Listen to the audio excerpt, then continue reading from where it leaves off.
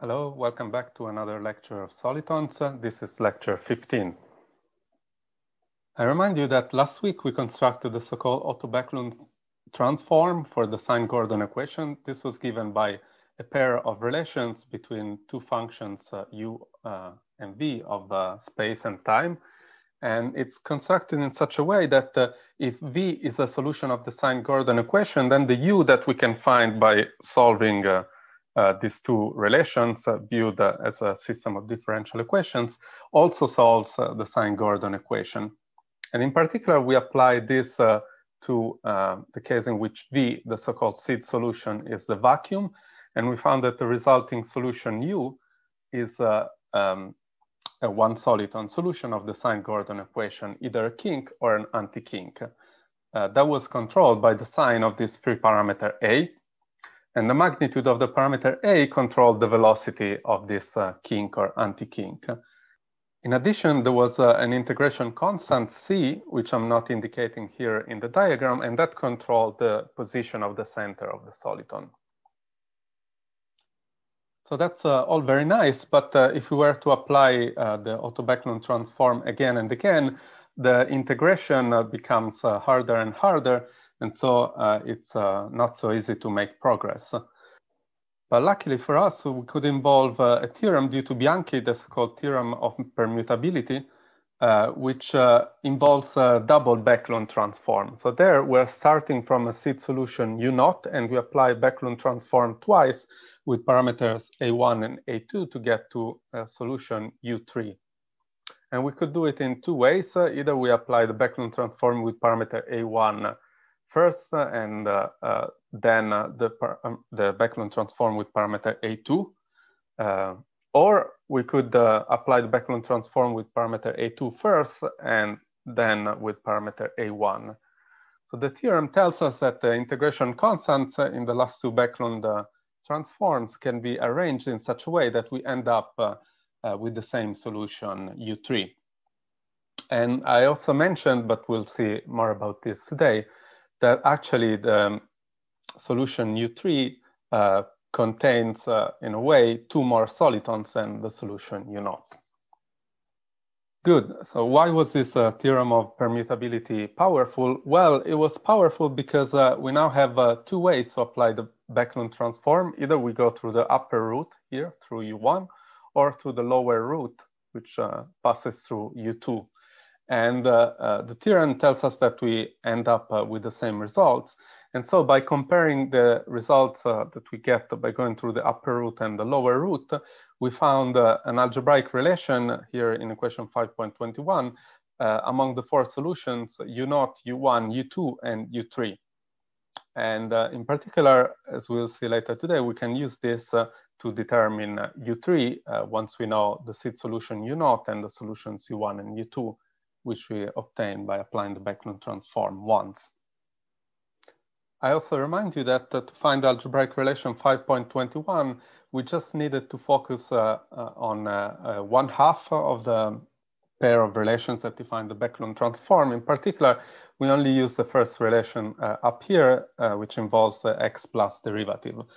So now to check that everything is consistent, let's see what happens when we follow the same logic, but now uh, for the second half uh, of the uh, Backlund transform, namely the equations that involve the x minus derivative. So let's do that next.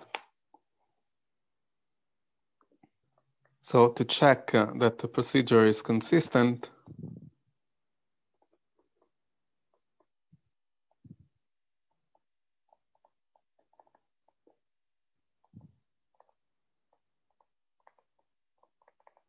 Let's see what happens.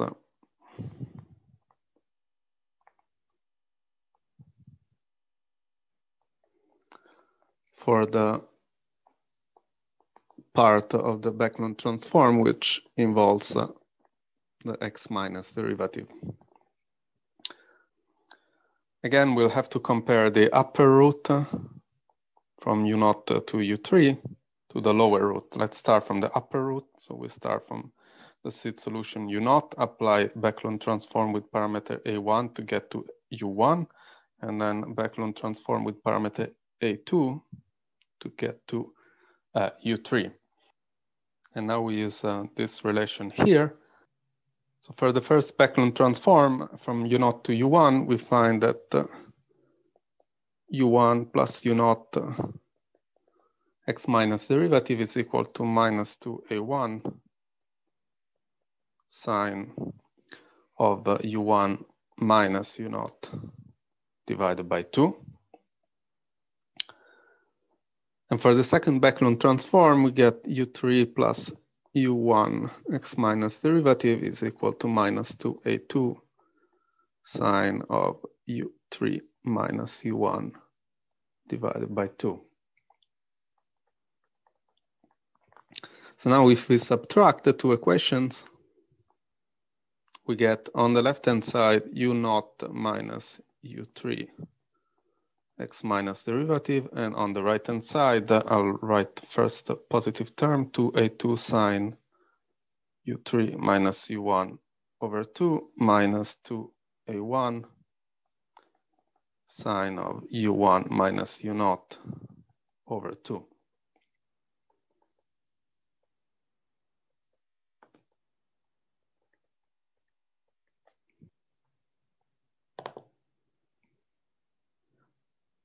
For the lower route, uh,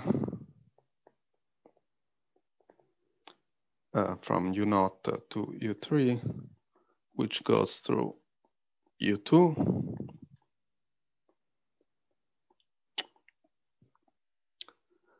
Uh, we obtain the result by swapping the roles of uh, A1 and A2 and U1 and U2. So we get uh, U0 uh, minus U3 x minus derivative is equal to 2A1 sine of U3 minus U2 over 2 minus 2A2 sine of U2 minus U0 over 2.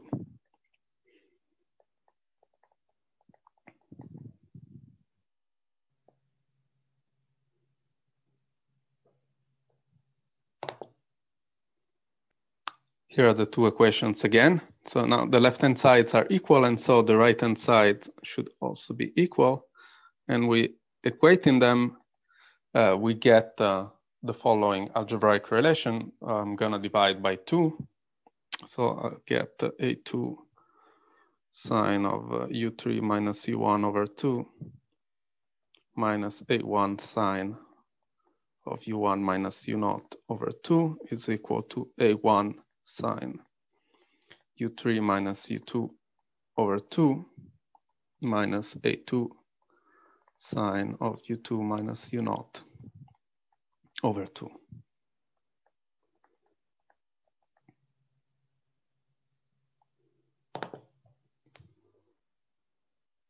So we now have two algebraic relations, uh, equation 5.21 that I showed earlier and equation 5.25. And consistency requires that uh, they agree.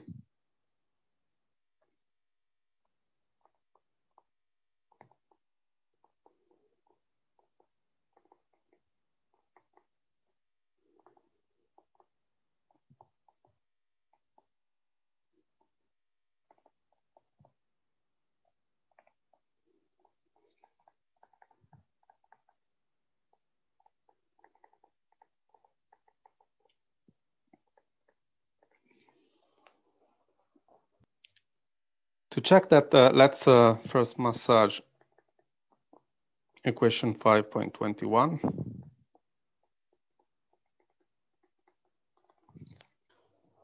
Here's uh, equation 5.21 again.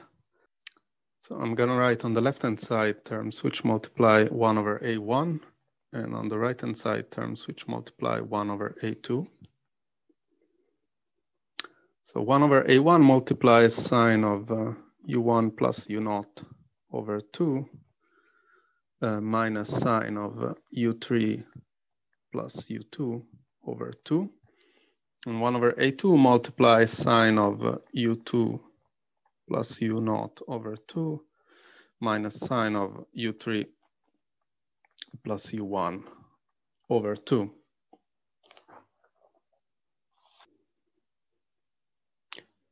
Next, I'm going to multiply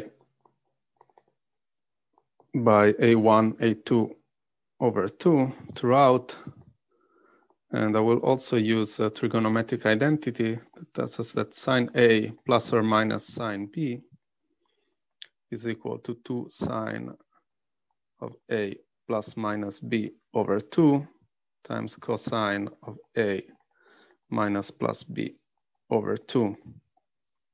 So uh, on the left-hand side, now I get uh, A2 times uh, the sine of, uh, uh, I need A minus B over 2. So that's U1 uh, plus u0 minus U3 minus U2 over 4. That multiplies the cosine of A plus B over 2. So U1 plus u0 plus U3 plus U2 over 4.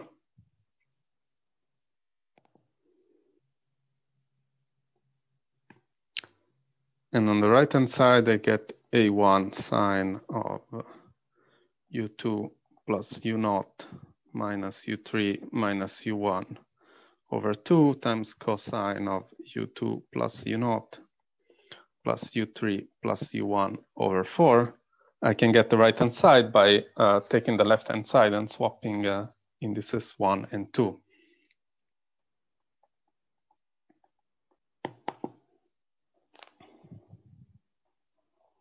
So now we see that we get the same cosine factor on the left-hand side and the right-hand side, and uh, U0, U1, U2, and U3 are uh, uh, rather generic functions. So this will generically be non-vanishing, so we can simplify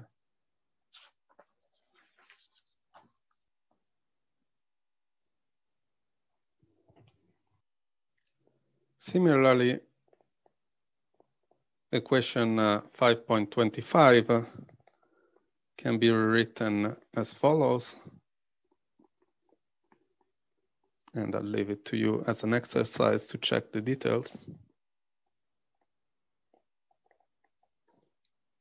So now we get the A1 times the sine of U3 minus U2 plus u1 minus u0 over 4 times the cosine of u3 minus u2 minus u1 plus u0 over 4.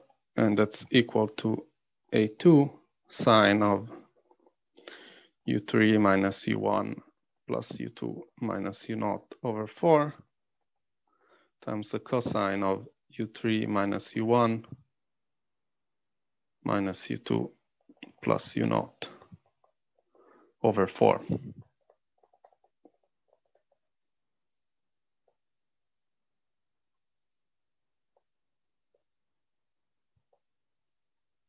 And again, the cosine factors are common and cancel out. And so we see that equation 5.27 agrees with the 5.26 upon simplification.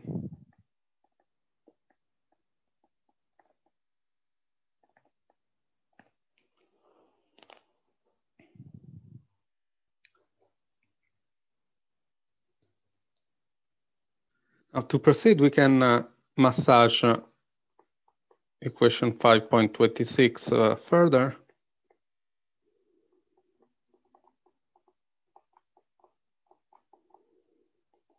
Uh, equation 5.26 is equivalent to,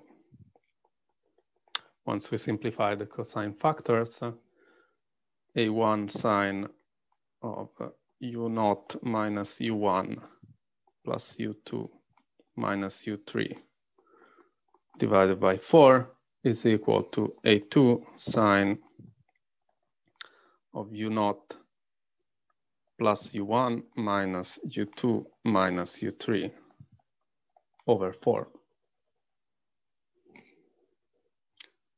To simplify uh, the next manipulations, let uh, a be u0 minus u3 over 4 and b be u1 minus u2 over 4. Then uh, the previous equation is uh, a1, which multiplies the sine of uh, a minus b equal to a2, which multiplies the sine of a plus b. And if you use uh, trigonometric identities, the left-hand side is A1 times sine A cosine B minus sine B cosine A. And the right-hand side is A2 sine A cosine B plus sine B cosine A.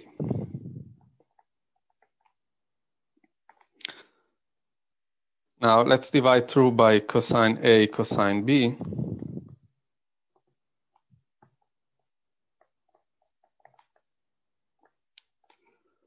So we get uh, A1 times tangent A minus tangent B on the left-hand side. And on the right-hand side, we get A2 times tangent of A plus tangent of B. Finally, let's bring tangent A to the left-hand side. That multiplies A1 minus A2. And let's bring tangent of B to the right-hand side. That multiplies A1 plus A2.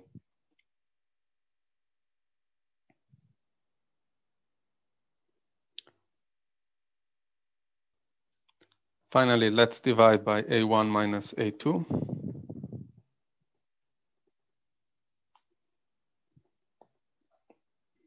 So we get that tangent of A, which was uh, u naught minus u3 over 4, is equal to a1 plus a2 over a1 minus a2 times the tangent of b, which was u1 minus u2 over 4.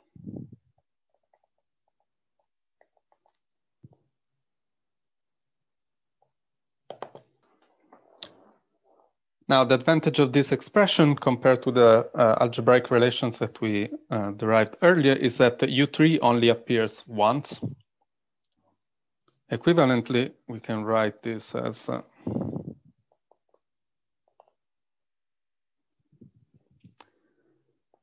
tangent of U3 minus U0 over 4 by changing sign on the left-hand side. And if we do the same on the right-hand side, we get a2 plus a1 over a2 minus a1 times the tangent of u1 minus u2 over 4.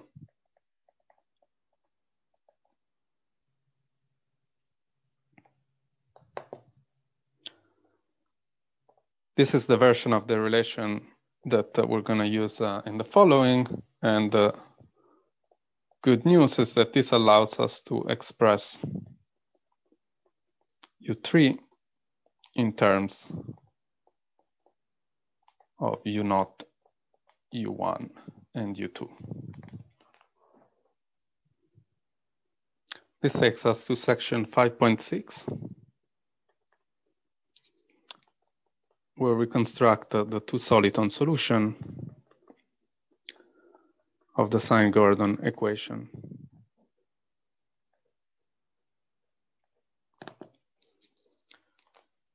This will be the main application of the permutability theorem. So what we're going to do is to take uh, the seed solution U naught to be the vacuum. So U naught is equal to zero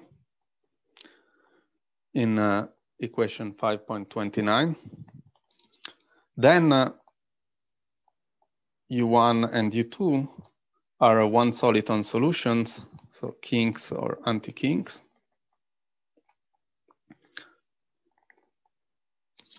Which I remind you are of the form tangent of ui over 4 equal to e to the theta i, where i runs from 1 to 2.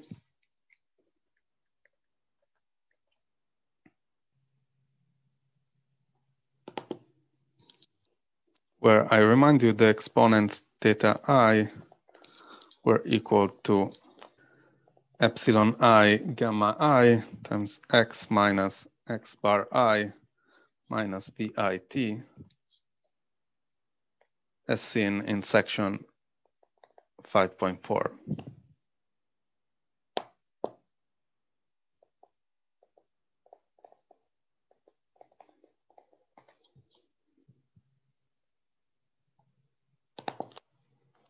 Here, I remind you, epsilon i was a, a, sign, either plus one or minus one. That was the sign of the Backlund parameter A.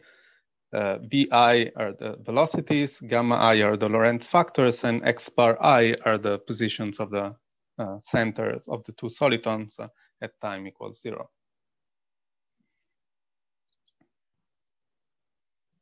Then uh, in equation 5.29, U naught uh, is equal to zero. So the left-hand side determines U3, the double Backlund transform. So let's write that again. And I'll call the prefactor on the right-hand side mu.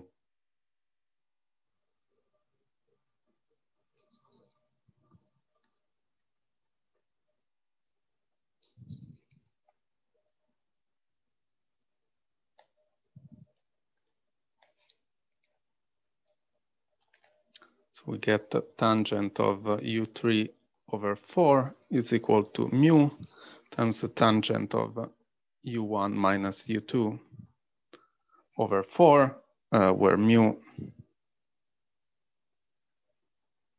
is equal to a2 plus a1 over a2 minus a1.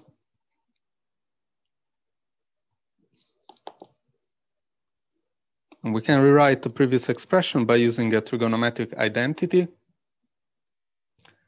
namely tangent of uh, a minus b is equal to tan a minus tan b over 1 plus tan a times tan b. Then we get that the tangent of u3 over 4 is equal to mu times tangent of u1 over 4 minus tangent of u2 over 4 divided by 1 plus tangent of u1 over 4 times tangent of u2 over 4. That's equation 5.32 and the next one is equation 5.33.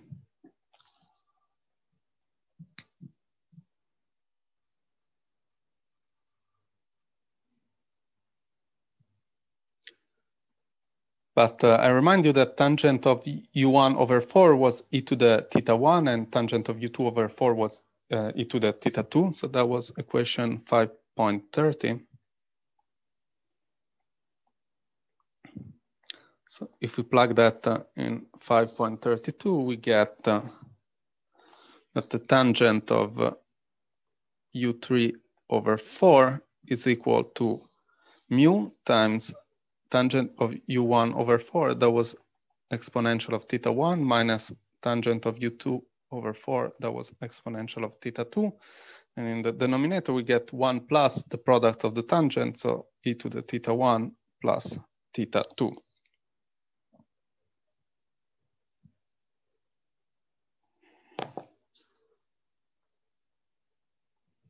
So this is equation 5.34. And uh, as we will see in the following, this describes a two soliton solution of the Sine-Gordon equation.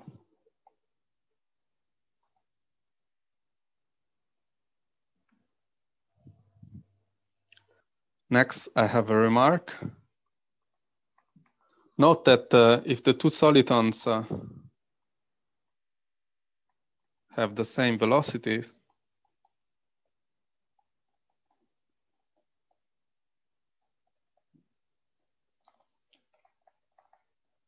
namely V1 is equal to V2, uh, we can rewrite this in terms of the Backlund parameters A as uh, A1 squared minus 1 over A1 squared plus 1. That was velocity 1, uh, which must be equal to velocity 2. So A2 squared minus 1 over A2 squared plus 1. And uh, uh, this is equivalent to a1 squared being equal to a2 squared or a1 equal to plus or minus a2. I'll let you check this by solving the previous equation. But then when we plug a1 equal to plus or minus a2 in the parameter mu in equation 5.33, we see that mu is equal to zero or infinity. If A1 is equal to A2, mu is equal to infinity, if A1 is equal to minus A2, mu is equal to zero. But uh, either way, the two soliton solution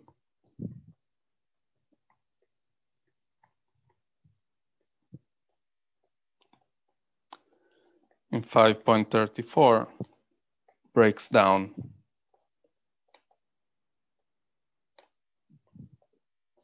either because we get tangent equal to infinity or we get tangent equal to zero. So then uh, U3 uh, becomes constant.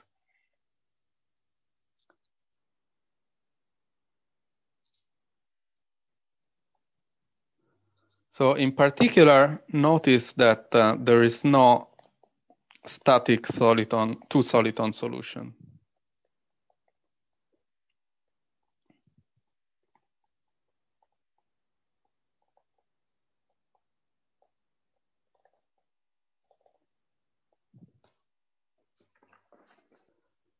As we see later, the reason will be that the two solitons uh, actually exert a force uh, on each other, and that's the reason why uh, they can't be still. But this is uh, a bit too fast. Uh, we don't even know yet that uh, the solution 5.34 that we just obtained does indeed involve two solitons. So let's try to understand this next. That takes us to section 5.7, where we look at uh, asymptotics of multi-soliton solutions. Uh, in fact, uh, we will just look at uh, two soliton solutions.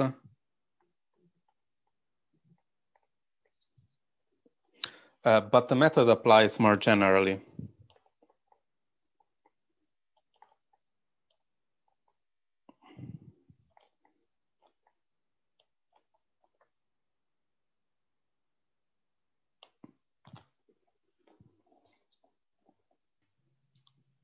So our goal will be to study the new solution uh,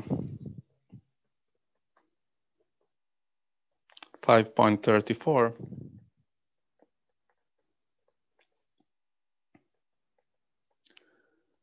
And to identify two solitons uh,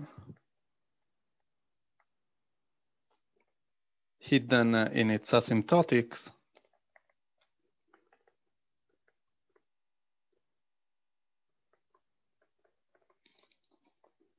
as t goes to minus or plus infinity.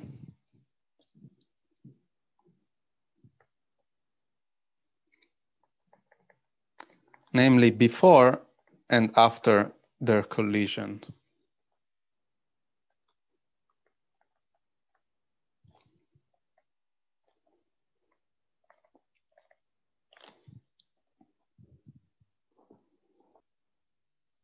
For example, we might see that uh, before the collision, we have uh, an anti-kink and a kink.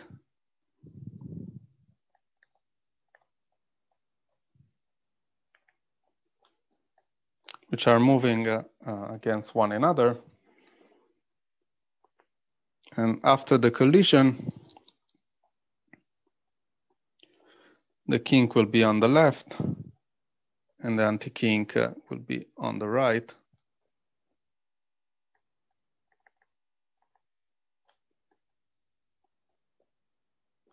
Moving uh, further away from one another. I should say that uh, it's not uh, entirely obvious uh, how to do this uh, analytically.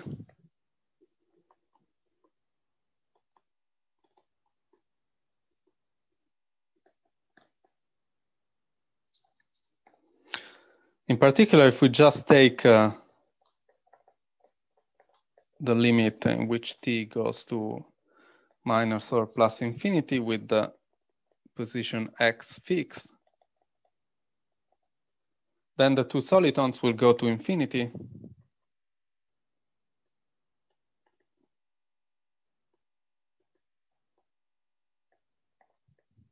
And we'll miss them.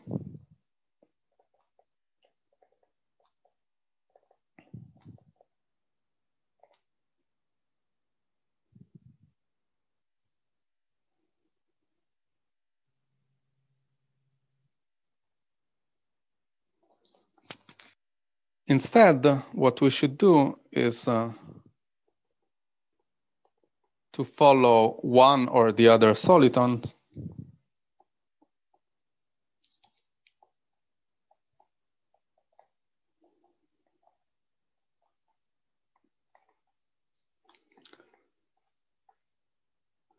By letting uh, time go to plus or minus infinity, but keeping fixed the combination capital XV equal x minus v times t.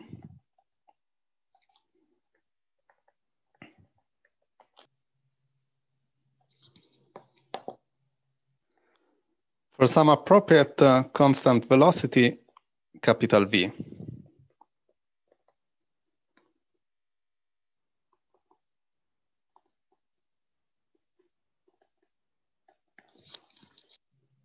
Indeed, if there is a, a soliton uh, moving at velocity v in the original coordinates,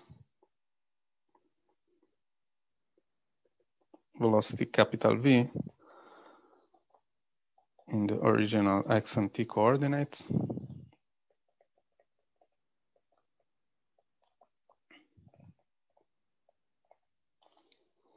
It will uh, appear stationary in the new coordinates.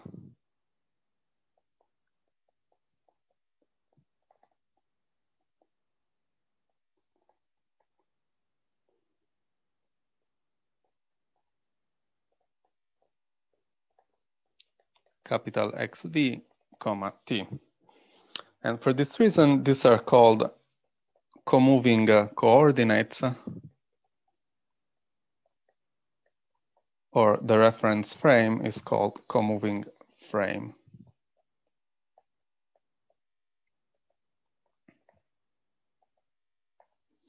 It's called co-moving because uh, it moves together with an object uh, which moves at fixed velocity v. So what we're hoping is that there will be a soliton moving at precisely the velocity v, and then it will uh, uh appear stationary in this uh, uh, new coordinate system. Okay, that's all for today. What we'll do next time is uh, to apply this idea to the uh, two soliton solution 5.34 that uh, we have uh, just obtained. And uh, we will see that indeed uh, it does contain two solitons. and we'll do that by looking at the asymptotics using the limit 5.35. I remind you that we have a problems class tomorrow, so see you there.